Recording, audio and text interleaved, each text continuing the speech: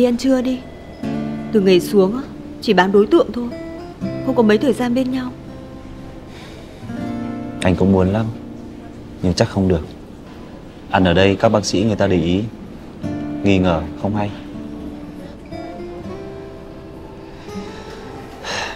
Bây giờ anh phải đi luôn. Chắc ở nhà có việc gấp Sếp Hà mới gọi giật như vậy.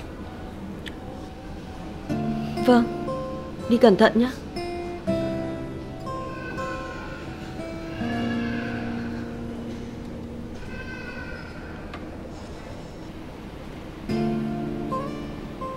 Anh đi ngay đi.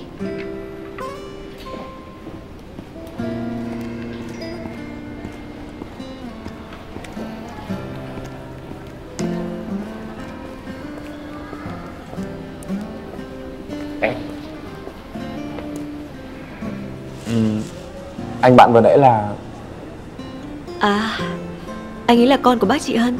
Ừ. Hôm nay là cuối tuần anh cũng rảnh. Anh có thể mời em đi ăn tối không?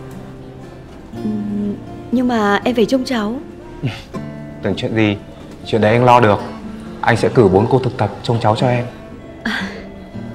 Nếu em không thấy đủ Vậy thì anh cho 6 cô nhé Thế anh muốn mấy giờ? Tùy em quyết định. Ừ? Anh nhìn cái gì đấy? Anh chưa giờ thấy anh có đôi mắt đẹp như em hết đấy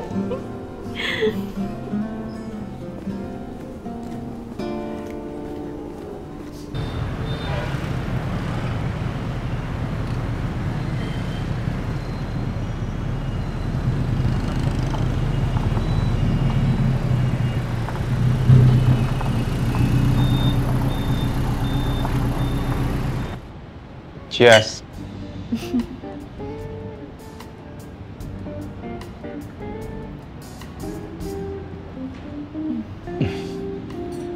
Em uống được bao nhiêu thì uống nhá. Này Em là dân miền núi đấy. Tiểu lượng cũng được phết. Đừng coi thường nhá. Em ăn đi. Em xin Hồi mà anh đi học ở bên xứ lạnh ấy Có khi mùa đông lạnh quá Anh toàn phải ngậm rượu để cho nóng người lên. Vậy cái thời đấy đã lâu chưa? Khoảng một năm rồi em ạ. Thế anh đi làm rồi phải trực đêm suốt như vậy Có khi nào chị ở nhà giận không? Ừm, Không. Chị ấy chẳng bao giờ giận cả Vậy anh đi ăn với em kiểu này Chị ấy không ghen à? Ừ, Chị ấy không ghen luôn. Ừm, Sao kỳ lạ vậy?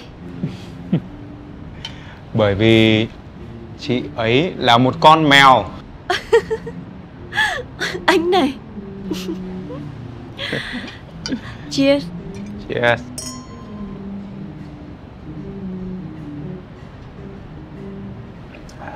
Anh. Ừ? Em nghĩ á, là anh lấy vợ đi thôi. Thì Anh cũng đã đi nửa vòng trái đất Nhưng mà Nàng ấy vẫn chưa chịu xuất hiện. À, Lắm lúc anh nghĩ nhá Trái đất này Thì chỉ nằm trong lòng bàn tay thôi Nhưng mà Trái tim của một người con gái Lại mênh mông đến thế. Anh cũng có khiếu hài hước quá nhỉ. Mà hài hước á Là biểu hiện của trí tuệ đấy. Ừm, Em này ừ? Ừm, Anh có một giả sử này nhá Nhưng mà chỉ là giả sử thôi Nếu như Duyên số mà cho anh được gặp em Và chúng ta ở bên nhau mãi mãi Thì lúc ấy Em biết phải cảm ơn ai không? Anh giả sử hay thế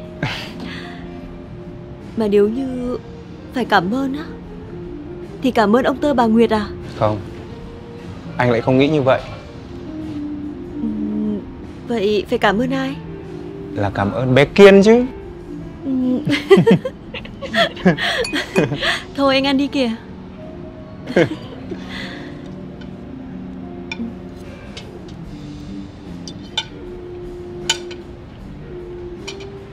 Cheers. Cheers. Thế nào? Hai ông đã triệu tập quân cán đầy đủ chưa? Báo cáo, bên tôi đầy đủ 100%. Thế còn chỗ anh Hà thì sao? Dạ tôi đã triệu tập toàn quân Đơn vị tôi có hai nữ cán bộ Là cô Yến và cô Lam tôi không gọi Thế chỗ kia đã về chưa? Dạ mới về Họ đang ở trên phòng Chờ chỉ thị của anh Có việc gì mà đột xuất thế hả anh? Anh chờ một chút. Mời vào. Xin chào các đồng chí. Chào các anh đồng chí. Giới thiệu với các anh, đây là hai anh chị bên bệnh viện tỉnh. Còn đây là hai đồng chí trưởng phòng hình sự và ma túy. Theo yêu cầu công tác thì nhờ anh chị lấy mẫu máu của toàn bộ cán bộ chiến sĩ trong hai đơn vị này từ cấp đội trưởng trở xuống. Ôi, tôi tưởng có việc án thử gì. Sao không để đến sáng mai hả anh? Đầu đẻ không thể chờ đến sáng trăng được.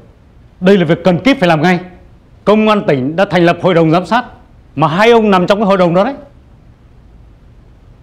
Thôi, ta xuống hội trường thôi. Uống nữa đi em. Yo.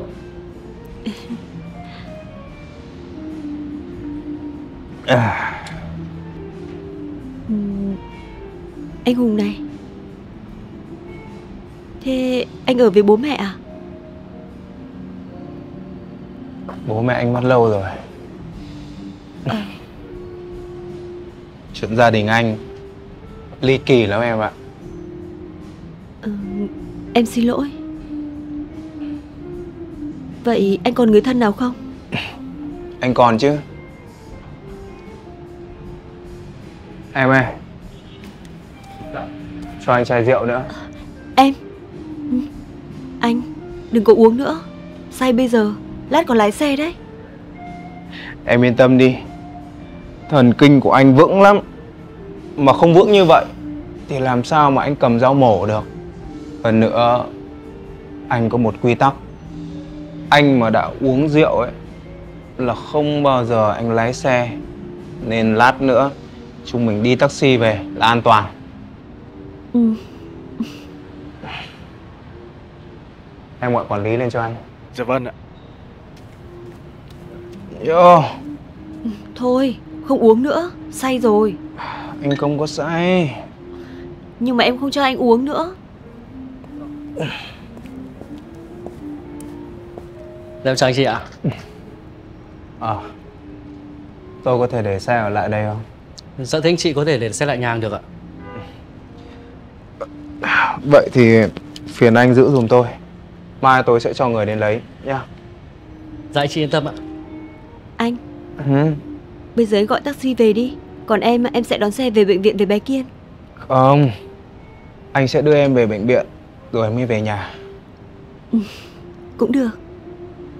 Em gọi taxi cho anh chị ạ.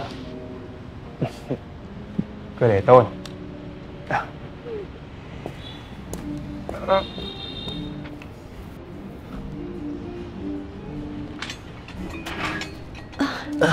Cẩn thận đấy anh. Cẩn thận. Thưa quý cô xinh đẹp Tôi có thể hân hạnh Đưa quý cô ra taxi được không? Được rồi Đi thôi. Đi anh. À, à khoan đã. Đấy À. Đây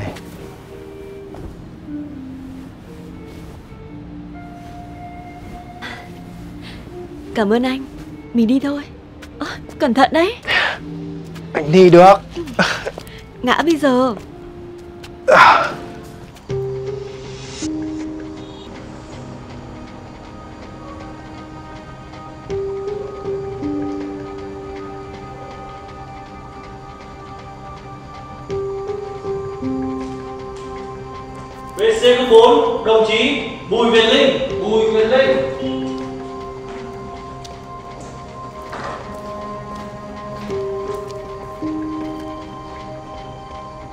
Đồng chí Đào Hải Triều. Đào Hải Triều.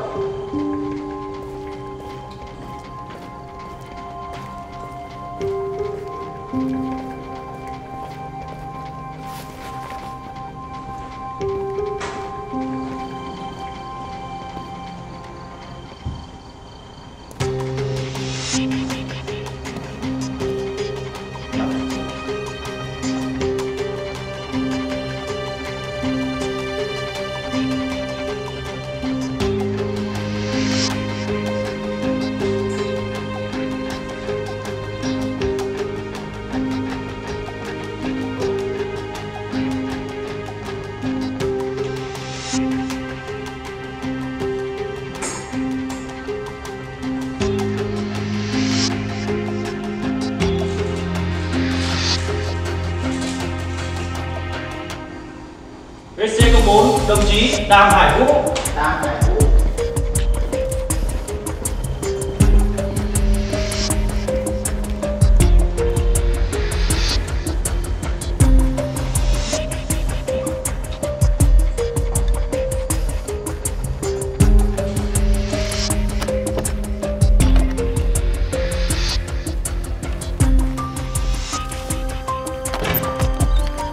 Anh thấy không? Thái độ của nó bình thản như thế. Nếu có vấn đề gì Thì nó không thể bình thản như thế được. Nhìn mặt nó là tôi biết không có chuyện gì rồi. Thế cái việc mà tìm thằng phao tin đến đâu rồi? Đã xác định được à, nguồn phao tin. Đó là thằng Lập ở khu nhà ga. Thằng này nghiện oặt Hay lê lết khu nhà ga. Sáng nay tự nhiên biến mất. Có người nói là Nó đi Hà Nội sớm. Tôi tôi nghi lắm. Nghi sao? Nghi là Có người xì thông tin để cho nó chạy. Có logic đấy. Còn một vấn đề nữa. Vì sao thông tin lại lọt lộ ra ngoài? Cái con sâu mà anh đang nghĩ đến Tôi nghĩ là nó có bầy đấy. Còn thằng Triều đang dở việc ở Hà Nội.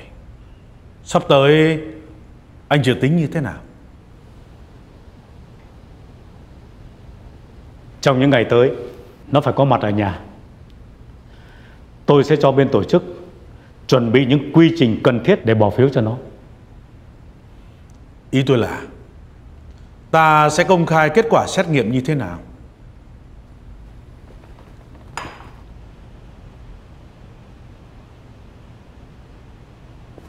Thứ hai đầu tháng chào cờ. Tôi sẽ chính thức công khai Thông báo tin xấu Vu khống cán bộ. Công an tỉnh đã điều tra Và đã có kết luận như thế. Tôi sẽ chính thức dằn mặt những thằng có liên quan. Những thằng Này Sao anh không đưa em vào viện mà lại đi ra đây? Thì anh muốn đi dạo với em một chút. Nhưng mà anh say rồi. Anh còn đang không biết là say rượu hay là say em nữa đây. Này Cẩn thận đấy.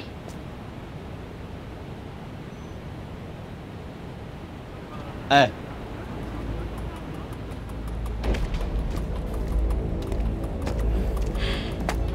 Anh có đứng vững được không đấy Ê, con bé kia! Cho xin mấy đồng đi! Cô em này xin nhỉ? Mẹ mày Dám gạt tay bố mày á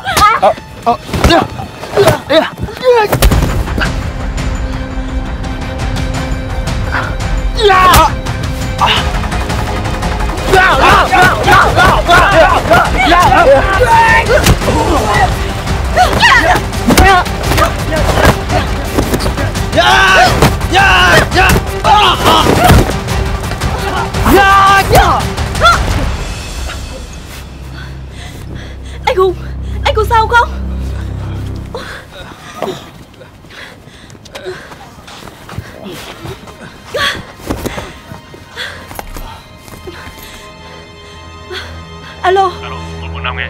Cấp cứu đi công viên bờ Hồ Tây.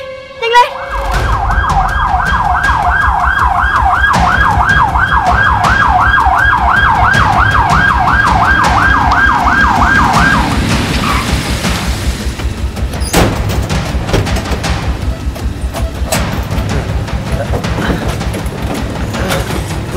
Dạ. Điện thoại. Anh muốn gọi cho ai? Anh, anh Đức anh Đức. À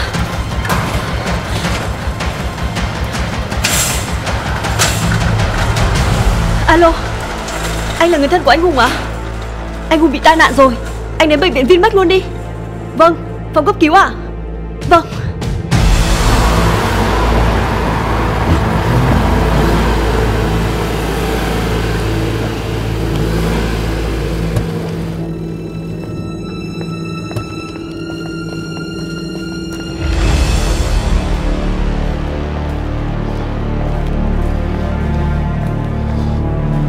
Alo? Cô là người vừa gọi điện cho tôi à? Tôi đến rồi đây. Đừng này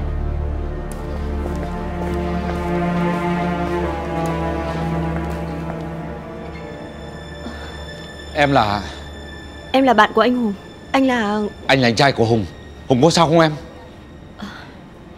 Em đang đi bộ với anh Hùng trên vỉa hè Thì bị bọn du côn vây lại hành hung. Đó là ở đâu? Dạ công viên bờ hồ Tây ạ. Ờ thế cô À em đi cùng với nó à?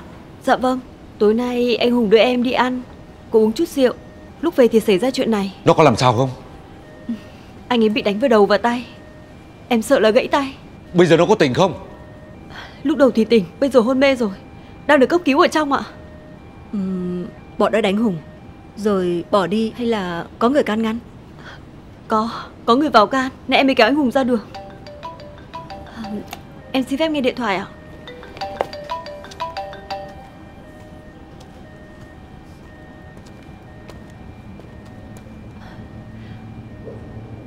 Chị à? Vâng. Vâng Bạn em bị tai nạn. Nên chị cứ trông cháu nhé Lát nữa em sẽ về. Vâng ạ. Dạ.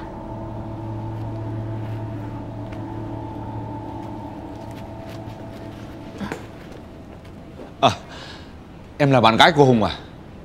Ờ ừ. à, Anh là Đức. Đây là chị Xuân vợ anh. Đây là Tú và Lan Là những cánh tay phải của anh trong công ty đấy. Em tên gì nhỉ? Ờ, Dạ em tên Thủy. Vậy thì đang làm công việc gì? Dạ em làm kế toán doanh nghiệp. À, Mà em nhìn anh Đức quen quen. Ờ Anh chưa gặp em bao giờ. Mà Trong xã hội những người dưng đôi khi có những nét hao hao giống nhau em ạ. Ờ, Em xin phép. Em còn trông cháu ở bệnh viện. Mọi người đến rồi thì em xin phép về. Nếu cần gì thì cứ gọi cho em. Ngày mai em sẽ quay lại thăm anh ý. Anh cảm ơn em. À này Em cho anh số điện thoại nhé. Dạ. Đây là số của em. Cảm ơn em. Dạ em xin phép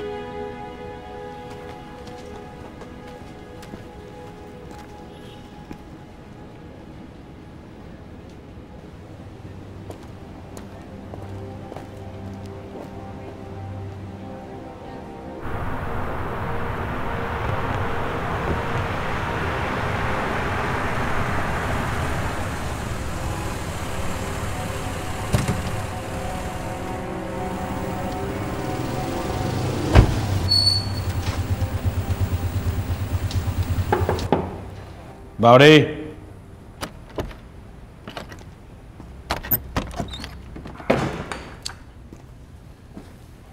Cháu chào chú ạ. Đi về có mệt lắm không? Dạ cũng không mệt lắm ạ. Ngồi đi.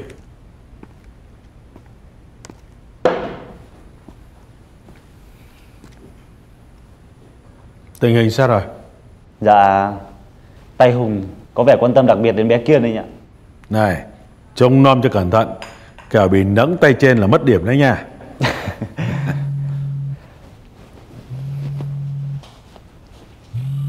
Cháu xin phép. Ừ anh nghe đây. Alo Có chuyện lớn rồi. Sao cơ? Nào đợi anh chút. Nào từ từ chậm rãi nói anh nghe. Tối nay Tay Hùng rồi em đi ăn. Lúc về thì Tay Hùng bị đánh. Em đưa vào bệnh viện cấp cứu rồi. Người nhà của anh ấy cũng đã vào Tại sao người nhà Tay Hùng lại biết chuyện? Mà vào mấy người em? Trước khi cấp cứu Anh ta đưa điện thoại cho em. Bà em gọi cho một ông anh tên là Đức.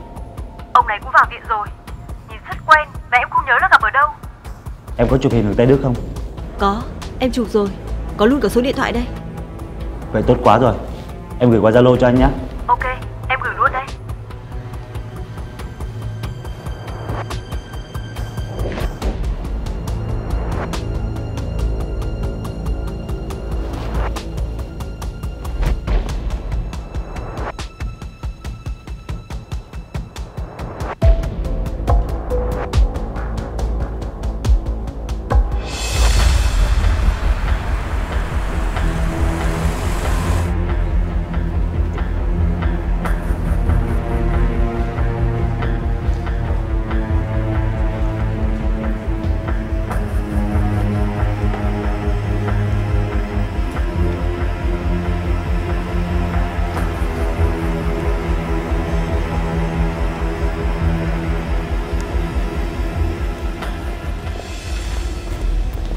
Sếp ạ, Sao rồi? em theo anh vào bệnh viện lên coi chỉnh hình. Em chào sếp Thế nào? Chúng nhập viện hết rồi Có một cô gái rất giỏi võ Hạ gục mấy thằng trong chớp mắt Một cô gái giỏi võ Cô gái giỏi võ à? Cho người ngày mai tới chỗ Hùng làm Giả vờ là báo tai nạn Để kiểm tra xem cô ta có thật chăm cháu ở đó không Dạ mai em đi ạ.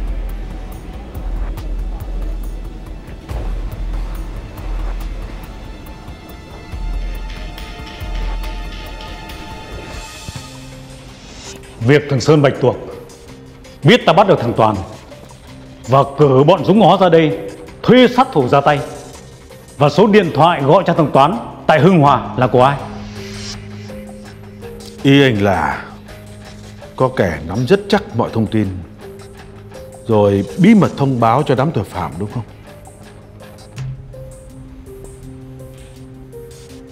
Nếu linh cảm của tôi mà đúng thì đang có điều khủng khiếp xảy ra ở đây. Tây Đức, chủ tịch tập đoàn Oan Linh. Đó, vấn đề là ở chỗ đó đấy.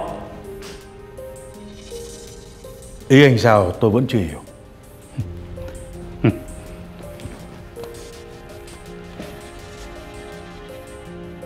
Cái thằng Tuất nhà anh ấy, đang đầu tư hùn hạp cùng với tay Đức ở Hưng Hòa. Vợ nó đi đâu cũng khoe rằng tay Đức là anh nuôi của nó. Sao thế? Mọi ngày hai thầy trò nhau nảy số nhanh lắm cơ mà. Hôm nay sao vậy? Ý chú là Cháu hiểu đúng ý rồi đấy.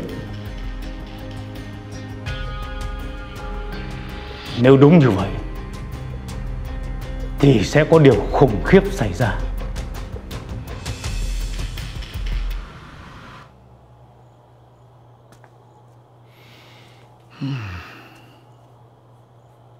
Anh nghĩ ngợi làm gì?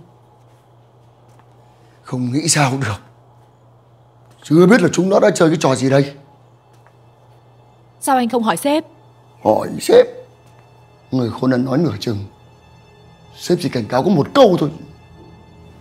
Thế họ có nói gì chưa? Có động thái gì không? Chưa thấy động thái gì cả. Không hiểu là Lão Hoạch Đi chơi cái bài gì đấy Ừ tao đây. Nói đi.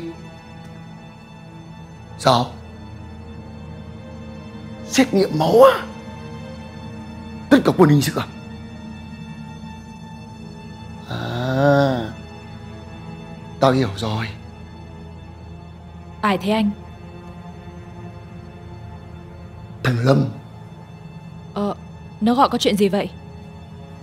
Đang đêm Lão Hoạch triệu tập tất cả quân hình sự và ma túy Từ đội trưởng trở xuống Xét nghiệm máu Rồi ông này bị điên hả? Đêm khuya tự nhiên gọi mọi người lên xét nghiệm máu là sao? Không điên đâu Đòn cao tay đấy Em chả hiểu. Mẹ kiếp Cái lão cà chỉ được ăn tục nói phét Chả được cái tích sự gì. Mưu kế soàng lòng. Lần nào dở ra cũng bị bị bắt vở Ừ anh hay lắm. Cho ông ờ, cái miếng đất á, gần 2 tỷ của em đó. Giờ sao? Thôi thôi. Cứ yên tâm đi. Bây giờ tạm thời mình cứ dùng Lão ấy thành chim lợn cho mình Xong mọi việc rồi Anh sẽ có kế. Anh cũng đừng nghĩ nhiều làm gì. Bên đảng ủy có mấy người vậy? Bảy. Mấy người ủng hộ anh? Ông Nhẫn Ông Soạn Ông Nhanh ủng hộ anh. Còn thằng Minh thằng Tú là phe ông Hoạch. Còn riêng ông Nghi mẹ vừa mặc quần vừa mặc váy 50 50 mẹ chưa rõ quan điểm. Ê, Hay là để mai em gọi cho bố Bố ép mấy đứa đó bỏ phiếu cho anh. Thôi tôi xin à bố sắp về hưu rồi.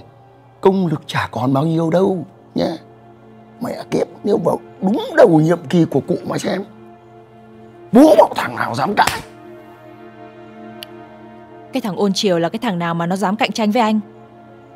Nhưng mà bố làm được Để mai em nói bố. Chứ còn anh bữa giờ anh có làm được cái gì không? Mệt mỏi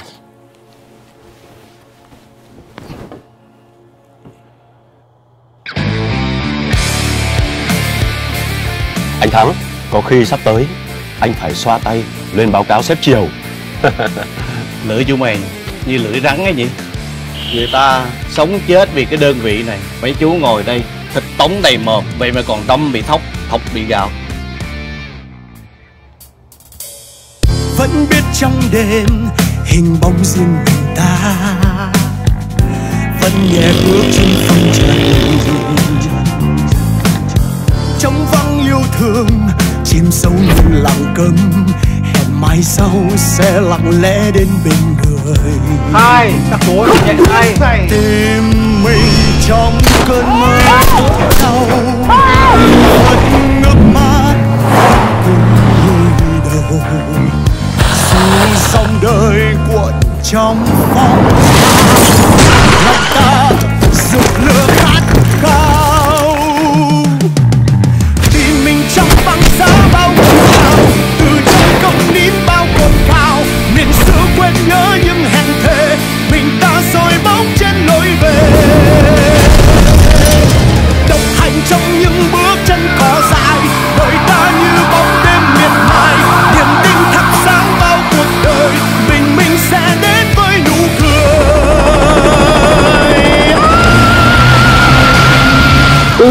cậy thần, thần cậy cây lá Công an phải là hiệp sĩ bảo vệ người dân chứ.